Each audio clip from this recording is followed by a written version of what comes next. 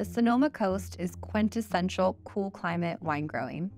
Wind, fog, and cool Pacific air define this region, making it perfect for growing Pinot Noir. Our Decoy Limited Sonoma Coast Pinot Noir offers vibrant aromas of red cherry and raspberry, as well as hints of forest floor and savory spice characteristics. This is the ultimate expression of Sonoma Coast Pinot Noir.